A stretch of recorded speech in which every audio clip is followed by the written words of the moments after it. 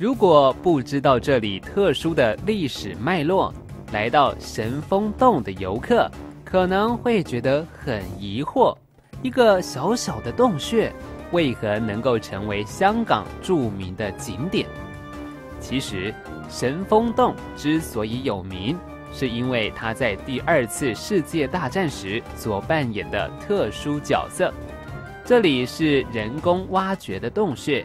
由于在二战时期，日军神风敢死队在这些洞穴埋藏很多轰炸盟军用的突袭快艇，是日军的重要战略据点，因此这些洞穴才被称为神风洞。